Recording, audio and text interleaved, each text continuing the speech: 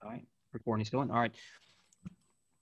Uh, today is September 14th. want to welcome uh, everyone to our uh, bi-monthly, or we do these webinars twice a month. I want to welcome those who may be attending uh, today live. We'll also be recording uh, this, so we'll actually be on YouTube and check out our channel. Make sure you subscribe uh, to that channel and all of our social media. We put a lot of good stuff out there. It can help you out with your business and personally uh, when it comes to technology services.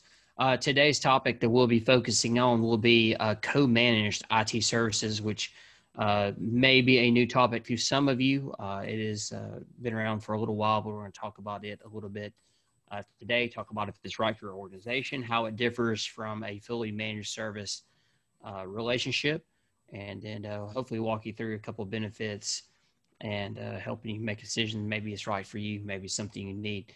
Uh, we're also going to change up a little bit our agenda. We're going to talk a bit. We got a couple of current events Lee and I are going to talk through. Uh, first half of the webinar uh, that are going on that we pulled just from different uh, news channels and information channels that we have available to us for the IT world, and then we'll jump right into our topics. So, um, as always, if you have questions, uh, you know, please feel free to go ahead and put those in uh, the Q and A uh, window, and we will get to those either as we move along in the webinar or we will uh, get to them at the very end. So uh, feel free to ask any questions about anything that we're uh, talking about or uh, bring up. So let's talk about some headline reviews, current events. Lee, I think the first one that we had talked about, wanted to cover was some of the security updates to the platform Reason Day, which was Zoom. they they sent out a pretty good security update here recently uh, a significant update. I think one of the biggest changes they or biggest things they add to added to it was uh, two-factor authentication. So. Yep, they uh, enabled MFA, and I think that's a trend we're gonna see kind of blanket every area of logins, especially cloud-based logins. Um, you're going to see it more often, so be prepared for it. Get familiar with setting it up because it, it's coming, and it's a it's a good piece of, of security. Yeah, I think we are always uh, recommend to clients that they uh, find if they have dual authentication or two-factor authentication available to them, they enable it, especially for hosted or cloud applications. Provides a uh, you know extra extra layer of security against uh, maybe your password and uh, user credentials being compromised. Um, and it find it very effective, really hard. Uh, in the most cases, hard to defeat. But if you don't know what two-factor is, two-factor authentication means that uh, when you're uh, logging on to a system like Zoom, uh, you provide uh, what is usually a user ID. In most cases, it's an email address and then a password. Uh, well, that is something you know. And then the two factor comes into play to something you have. And two factor can be delivered multiple ways. Most of the time, it's delivered through a text message to your phone, or in, in this case with Zoom, they are actually going to be using Google Authenticator. It's like they're integrating with the Microsoft Authenticator, uh, free OTP, and also SMS. So you have multiple ways to get that second level authentication uh, for Zoom, uh, which I think could be very important uh, as we move forward. So that one of the biggest updates coming. So make sure that uh, as you uh, you know you use Zoom, which I know a lot of you do, uh, that make sure you keep that application up to date. sometimes they they do they are pretty good about pushing out updates. I get a a message you know pretty frequently to update my client, but you can also force that update as well and get that uh, get your system updated so you can take advantage of uh, the new features that they push out to. And not uh, not, not only are they security features, but they're also they make it fun too. They've got a bunch of filters and stuff like. Oh yeah, so, yeah, yeah, yeah. That, that's a great, great, uh, great point. But so if you haven't checked out the the new filters in Zoom, uh, as soon as your team season they will be trying them out uh, regardless if you do or not. So i, I think uh, more companies need to do that. They need to sneak in like little uh, easter eggs and stuff like that with, with security updates. Yeah that'd be a great that'd be great and amazing to sort of leave them out there and then if you find them you find them and people like, might people that might encourage people to install more security updates. Hey hey if that if that's what works it works. I'd, I'd love to see that happen so uh, one of the other things we saw that I wanted to bring up was this article that uh, came through uh, via newsletter was about, uh, you know, sort of you know, it was about three years ago we saw the Equifax breach, uh, which was a very detrimental, devastating breach. Uh, you know, Equifax Equifax exposed sensitive customer data due to some poor security practices they had. But according to one of the researchers, Greg Foss, is mentioned in the article, he talks about how not a lot has changed uh, in the cybersecurity environment. That uh, we're still uh, seeing a lot of uh, problems with users and companies updating their machines, closing vulnerabilities, but also not just closing vulnerabilities, but also not being able to react or properly react to different threats, but also events as they happen. So uh, that's two big subjects there, really vulnerabilities and having a good incident response plan. Anything you got to add to those two items, how important they are? Just, you know, the, the important thing is to be able to identify your vulnerabilities. Uh, a lot of people don't do that. There's no system in place to identify these vulnerabilities, and they're not going to jump out and tell you they're there you need to have a tool to, to seek them out and assist you in finding those. Yeah, vulnerability management and, and, identification is generally not a free service. There are some free scanners out there. OpenVAS is one that we've used before. Uh, sometimes they will bundle those type of scanners in with other products. Uh, I know Fortinet has a vulnerability scanner built in one of their products, but not just you know equally important is making sure you close those vulnerabilities uh, I did see an article this morning, or actually it was on, on Twitter, where uh, there was a vulnerability release, uh, or, you know, that Microsoft released a patch for last month. It was a big vulnerability. It was a net logon vulnerability where uh, that service within the Active Directory domain could be exploited through this vulnerability to gain domain access or domain admin access to the network very easily. Uh, I just saw this morning they posted a tool to exploit the vulnerability on GitHub. So it is freely available. So uh, the only way you're going to fix it is to apply a patch, which that's the best. Most vulnerabilities have patches available.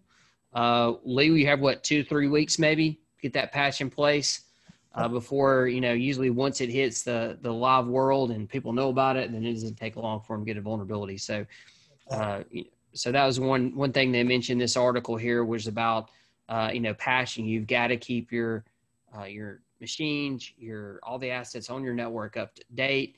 Uh, we know with Equifax that was really what got them breached was uh, you know their Apache web servers were missing a struts update, uh, which led to it uh, being uh, compromised. And finally, it's still you know cult- building a culture of security around risk is still a big problem in organizations. Just recognizing that cybersecurity is a problem. Uh, and it's not just an IT problem; it's a problem across the entire business. Uh, so that is also one thing uh, that is outlined there that um, it has to be something that is adopted everywhere. Yeah, that's that's pretty good segue talking about the tools uh, uh with co-managed, which we're about to talk about. Um, working with the client now, we've got a tool on site there to recognize uh, a list of different things. They've got a Windows 7 machine that they're not aware of on their network. So I've been working with uh, with their IT staff to to try to figure out where that's at and what exactly it is. So um, yeah, you know, you got to have a tool to help find this stuff. Really, you just you're just never gonna, gonna know that it's that it's there or present. Yeah, I mean that that goes back to the CIS controls we've talked about. CIS number one is inventory all your assets on your network, know what you've got to protect. So that's right. Uh, you know, they in this case didn't know there's a Windows 7 machine hanging out there, and we are able to identify it for them. And and obviously it was vulnerable because Windows 7 is no longer uh, supported. So so uh, those are a couple of current events that I thought were very relevant.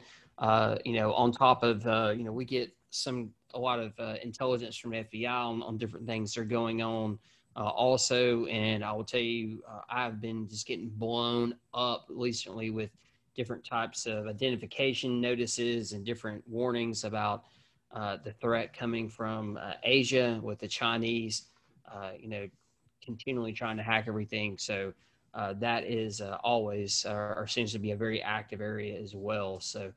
Uh, just be aware that the risk is is high. I mean, there's there are people trying to scan and access your network as we do this webinar. Uh, see it all the time. Uh, we've, we pulled up our firewall before, pulled up uh, different elements to show those attacks are happening ongoing. So cybersecurity is not something you can ever uh, just uh, hey, I'm going to handle it today, and then never look at it again. So in the last two weeks, I probably received more text messages that are that have been fake or you know obviously uh, uh, phishing attempts of some sort. But man, I have received more in the last two weeks than I probably ever have.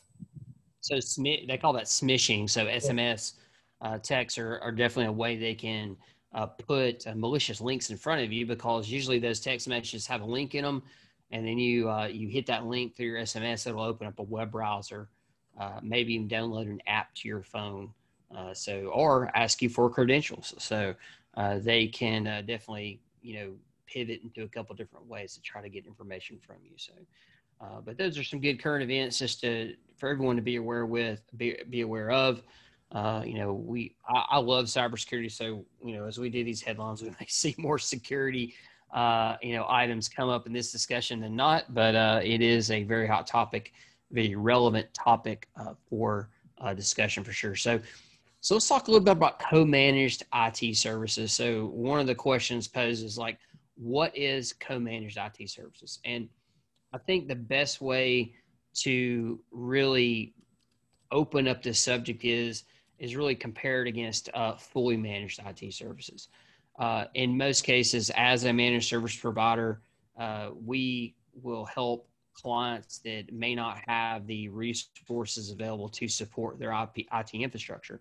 In many cases, they will, uh, you know, let us handle many types of different services that they can't handle internally. So, but basically, that really, when we talk to a client about that, you know, we we go to their you know the owner or the the executive there and we say hey we're going to handle your it for you. That means every bit of your it that whole uh, you know scope of services and work and everything comes over to us. And as a managed service provider we're in a position to uh, provide help desk support provide backup uh, provide uh, security uh, you know in many different ways uh, we can deliver those services to that small to medium sized businesses now, that discussion is much different uh, when we talk about co managed IT services. Generally, when we approach a company about co managed IT, it really, they usually have some type of staff uh, on, you know, within the organization that does IT for them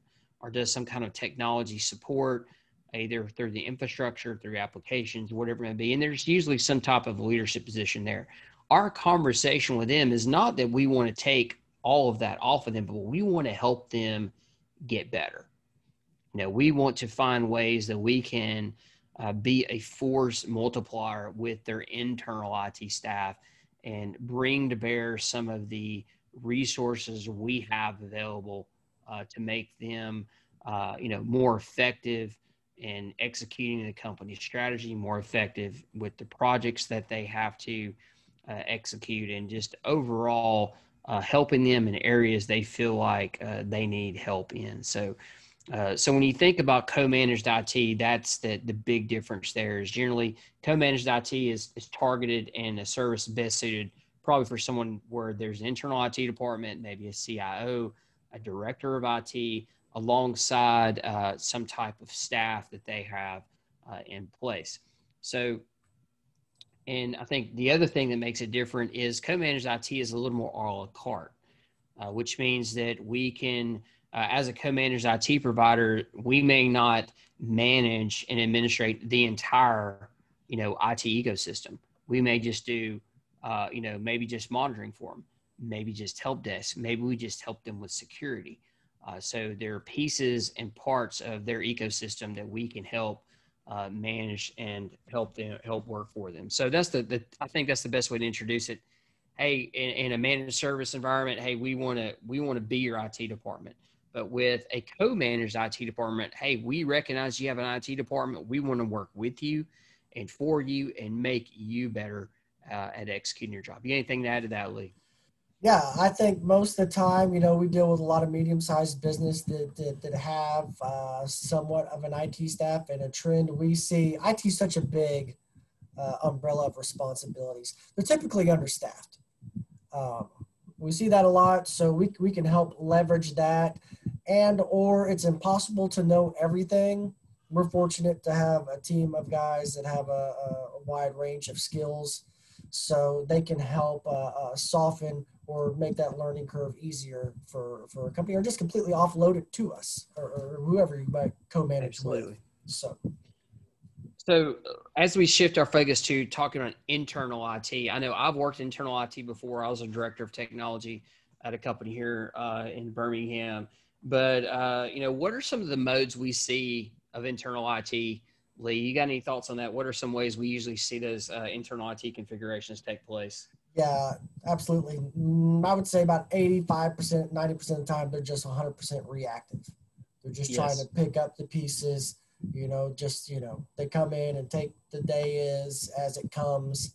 Uh, and that's really not effective. I mean, it's got to be done. It goes right back into the capacity but um, you really want to get ahead of that. And, sometimes, if you're not staffed to do that, you need a little help, or or you work, you know, 12 hour days, which I don't recommend for anybody to do. But um, yeah, I think the the biggest configuration we see is that one man shop. Yeah. You know, you got one guy. He's the go to guy. He's been there. You know, our, or girl, go to resource. You got a resource in there.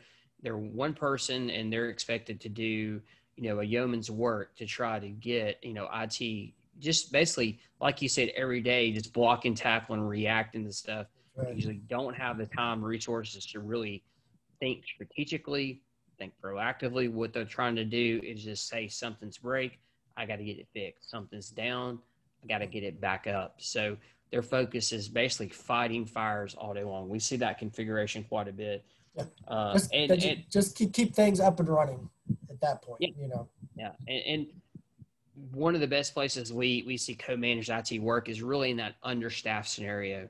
Uh, when you think about, uh, you know, we have several medium, small, medium large clients we work with that do co-managed IT, and a lot of times they don't. Uh, a couple of things we help them. One, they they don't have the staff sometimes to do all the things they need to do. We talked about security is a big one. Uh, you know, they know security is important, but they don't usually they don't have the tool sets and a lot of times they don't have the staff in order to execute that security uh, plan as well as they need to. Uh, and then also skill set. You, you mentioned that a second ago, Lee, about having the right skill set. I know we've got a team behind us with multiple types of skill sets, but uh, sometimes we we see that they're maybe they don't know how to to run Microsoft Exchange. Maybe they don't know how to run Office 365 or administrate that. Maybe they don't know how to administrate uh, SQL Server very well uh, and also the cloud platforms, Azure, AWS. So uh, co-managed IT can help fill gaps uh, in skill sets as well. So, sort of talking about, you know, we think we we've identified a lot of the traditional problems we see uh, in internal IT, uh, and generally there's a couple different ways that you can handle that. Uh, I think one of the most common ways you can throw more bodies at it. So when you go in, when you look at IT in a business, uh, there's so much stuff to do. The, the scope of work that you have to execute can be so broad. Uh, and one of the best way, one of the ways to do it is just, hey, you throw more people at it. Uh, you hire people, uh, maybe use contractors to bring those in. So uh, that is one way to handle it. Uh, it's also, I believe, Lee, the most expensive way to handle it. Uh, you know, people uh, are not cheap to hire in. And I would say a good IT person onboarding them two to three months, I would say 60 days. You think that's pretty accurate? Let alone trying to find the time that before you even get to that, trying to find somebody that meets your requirements, you know? Yeah, I mean the uh, the job markets in some ways is, is pretty tight right now for uh, you know even where we're at now. But you know you've got to hey, that that person in IT has to find someone that they have to they got to interview them, they got to onboard them, uh, they got to start integrating them into any processes they have. Uh, you know, you know that adds a lot of uh, issues and, and also links into the timeline before they become effective. Um, you know, also training. Uh, we know that I know training is hard for us to find time for, and I know as an internal IT when I was in that area, uh, you just didn't have time to just go out and learn new stuff that was happening. Uh, you know, that was uh, new technologies, new security. Uh, you know, technology is constantly changing, and it's really easy to fall behind that. So, Uh, but that is one one thing we see that uh, internal IT will do. They will just, hey, I'm going to get my people trained up. Uh, training's pretty expensive sometimes too, uh, and and also uh, to get really good training, you generally you can't do it virtually. You generally can't do it from your office on site either. Very hard uh, to execute that kind of training simply because too many distractions. I can't tell you how many times I've been trying to train or attend a webinar or maybe something similar to this and have people pop into my office, my phone's ringing, my email's going, uh, my cell phone's blowing up. You know, it's really hard to focus on learning uh, and training uh, you know, to get your internal folks up to par with the most recent technologies. Um, another, uh, you know, way that another solution we found in internal IT is just to bring in what we call a seagull vendor. Uh, and that means, hey, we bring in a vendor, they come in, they fix the problem, uh, then they pretty much fly away. Uh, and that oftentimes is great, a great short term fix. But long term, you generally just end up back in the situation. So that may get you uh, a long distance in a short period of time, but long term, it just didn't work. Uh, and then finally, and we've seen this happen too, Lee, they just hope the problems go away. Uh, yeah. uh, this the, the, we we've seen that play out sometimes, and, and we've actually seen, uh, you know, we see you know these internal resources they're so overwhelmed they're so far behind uh, they'll just they'll just quit their job. They'll just move on. Uh, you know they'll hope hey something happens you know something triggers an event and uh, sometimes they'll see uh, you know hey maybe we'll just go away. You know i don't have to fix that failed raid drive. You know i, I need to replace my firewall you know maybe maybe uh, it'll just go away so yeah but uh, but that's where you know I think co-managed IT helps solve all those problems because uh, you know we can be a force as a as a co-managed IT provider. We can be a force multiplier. We can provide uh, resources to help execute products, supplement services. You know we uh, do have more probably more opportunity to get training done. Uh, and also, uh, we're not just going to come in, solve the problem, and walk away. Uh, co-managed IT is about a relationship uh, between uh, you know you and the client. And uh, I think that's more. I think there, there's two ways that gets executed. One tactically, every day, day in and day out, but also strategically.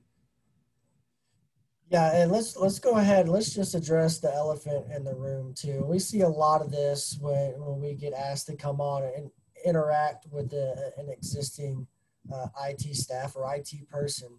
Intimidation the, the, the fact yes. that they think we're going to take their job or the lack of trust there is, uh, something that's fabricated. It's it's not true. We're you know we're not there to take anybody's job, like Brian mentioned earlier. We're we're just there to help out uh, where we can, whether if it's doing the the the day to day support or whether it's doing the high level engineering uh, for a, for a, a future solution. Uh, I think that's a big thing that a lot of uh, IT staffs feel is intimidation and the fear of them being replaced, and that's that's not the case. Oh, absolutely. I, I think that's that's one of the things, and that really go is a good segue into you know is co-managed right for you, and and I believe there there are, there are certain companies that work really well with co-managed IT, and and there's some that don't. Uh, it is not a fit for everybody. It's not a fit for every organization, and it's not a fit for every culture in, in every organization we see out there. So uh, I think there's a couple things. Uh, you know, is it right for organizations? A couple things to think about. One, uh, if you're looking for partnership, uh, you know, someone who's going to jump in with you uh, that you can be successful together. I think that's something. Uh, probably we see that and see that as a very important piece of our managed services our fully managed services, but I think it's even more important uh, with co-managed IT because a win for them, a win for you is a win for them. And hey, we want to make them better at what they do and how they do it. So, uh, you know, you got to be able to, you know, as a director of IT or as an IT manager, uh, as a CIO, even, hey, if you're going to engage co-managed IT, hey, you got to realize this is a partnership. Right. You got to be willing to want that partnership. Uh, I think flexibility is important too. Uh, you know, we make a lot of recommendations, and, and and not all of them are well taken. Not all of them are always well received. Yeah. Uh, you know, and and sometimes uh, you know you have to work through that. And and I think as uh, you know, if you're in a position looking at co-managed IT, you've got to be flexible in the way you do things, and the way, and you got to be able to, I think, listen and be open to advice, uh, and be open to that third party. I know when I was director of IT, uh, you know, I was always looking for someone to help me out because I know I'm not the smartest person in the room, uh, especially when it comes to technology. You know, I want someone there testing my security because I'd rather find out that my security is uh, has deficiencies on my time when I want to than when I have to. Uh, and I always looked at you know our reliability of my network. I'd rather find that on find that out on my own time at my disposal than find out when something goes down or something is compromised. Uh, and that goes back into openness uh, and transparency. Uh, you know, I think one thing you've got to be transparent about what you have, how it's set up. You've got to be willing to, to, to have those discussions and, you know, not hold anything back because again, we're here in this service to make you look better, to make you more successful, not here to replace you. Uh, you know, we we want to be a resource uh, for you we, to make you look better. Ultimately, we've all got the same goal. We all want to do the right thing. Absolutely. Uh, we, you know, we know we all have, uh, you know, sort of fought those battles uh, with technology. Uh, you know, we, we, uh, you know, we, you know, have all, we've seen a lot of stuff. I think we see probably a broader scope of things in, in what we do now than we ever have. And, and sometimes you don't get exposed to that if you're uh, in internal IT. And that's where, hey, come in just that day. Hey, we can help you. We can train you. We can show you. Uh, we can share tools with you. We can share. We can bring tool sets to the table you may not have right. access to. Uh, that's been hugely successful for us. We've got a great uh, remote management monitoring system, and we extend access out to that to our in, to internal IT group so they can use our tool sets, our processes, you know, some of the efficiencies we have uh, to make you know their delivery of their service and execution a lot better. So, you know, I find that to be uh, extremely important there. So, uh, so those are some things. Uh, you know, lead I'll leave anything out, but those are some things that I think you need to recognize if co-managed services is right for business, uh, is right for your organization, for your business, uh, and where you're at. And I think those are some really non-negotiables. when you think about it, you've got to have flexibility, you've got to have openness, You've got to be willing to, to form a partnership and have transparency in what you're doing. Uh, yeah, you know, anywhere on this kind of goes back to which I'm sure people watching this may have already, you know, go, goes back to a lot of the five dysfunctions of the team. You know, trust. You know, get rid of the fear of conflict. Let's you know, let's ask the hard questions and let's and let's address the issues. Absolutely. Um, so when we think a customer, uh, you know, a couple other other items out here to see if it's a if a client or a company is a good fit. Generally, you usually have to have an internal IT department. Uh, usually it could be a department or an individual. You got to have that. Uh, and I think this goes back to partnership. You got to have value in having good IT. Uh, we do see a lot of companies out there that, uh, you know, they don't see the value in having good technology or surrounding themselves with good technology. Uh, you know, but you've got to have that, uh, you know, see value in IT. Um, they also generally have value in their internal resources. They see them as being valuable to an organization. They don't want to replace them, uh, you know, and, and they want to make them get better. So that aligns them with our goal, making them get better uh, as well. So, and you know, I sort of touched on this a little bit. So finally, to round out our agenda for the day is the, the co-managed IT versus fully managed IT. And uh, I think, you know, when we think about co-managed IT, this is something where hey, we are a force multiplier. You know, we can be the cavalry. Uh, we can help train you on things. We can help, uh, you know, help you execute that project. We can cover security for you. We can cover backup for you. And we didn't really talk about backup, but I think that's probably one of the most common areas we see co-managed IT be hugely successful. That that that and you know uh, telecom gets overlooked. A lot a lot of time you get a bunch of network yes. guys and they don't really want to deal with telecom so we can take care of the del- telecom stuff. Yeah so that i think those are two big areas you know when we think of our suite of services or our core services uh, you know tele- managing a telephone system uh, a lot of network engineers and general it do not want any part of that and so we have been uh, very, very successful in, in using our telecom resources to provide support or, uh, you know, engineering, you know, to help make their telephone system better, make changes they need changes when changes are needed. Uh, but backup's a huge one. Absolutely. you know, backup's hard. I mean, it takes resources to manage that. Uh, Um, and I'll, I'll, I'll just list three of them off too. You know, like you mentioned, backup, um, patching, Yes. antivirus, all kind of that monotonous, you know, ongoing monitoring and following. Are my definitions, are my patches, are they all there? Uh, you know, that's that's a lot of work to monitor and keep up with that stuff.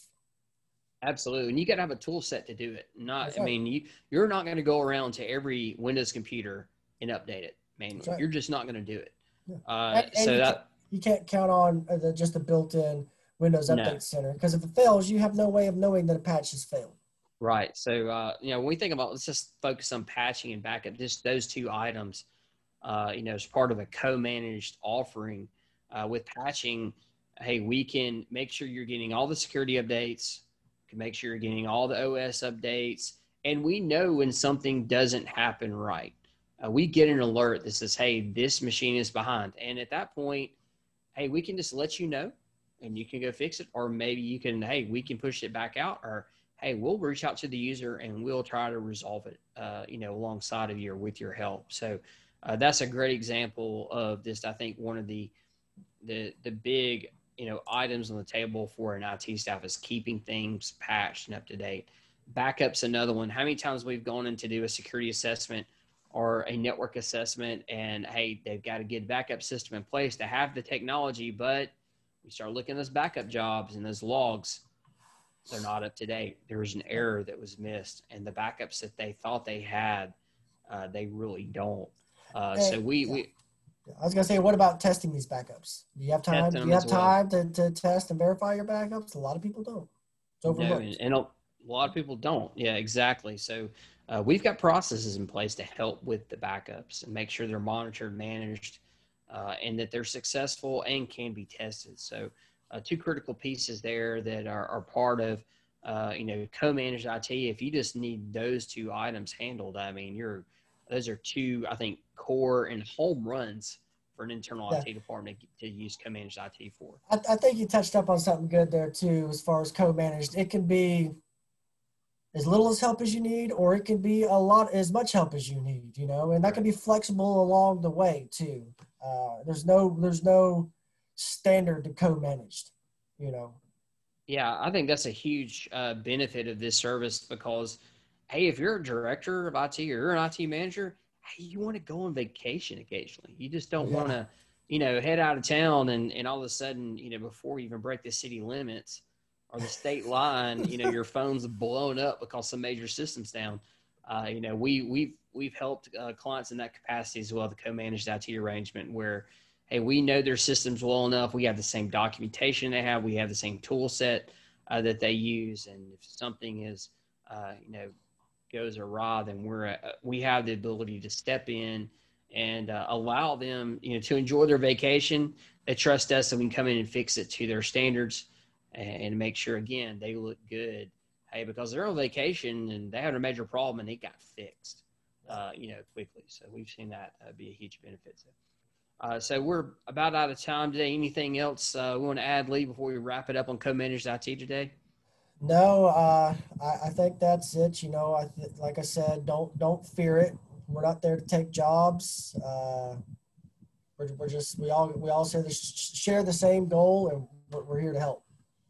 Yeah. So I'm going to sort of wrap it up with, uh, you know, if you're if you're you've got if you're an internal, maybe you're an IT director, an IT manager, and you know that you're short staffed, you maybe maybe you're drowning in, in a lot of uh, you know issues that you need fixed, your infrastructure, security, your backups, your patching. You know, all these things are constantly going to be rolling through your mind, or at least they should be, uh, in order to make your your systems at your company uh, both reliable, secure, and available to the users.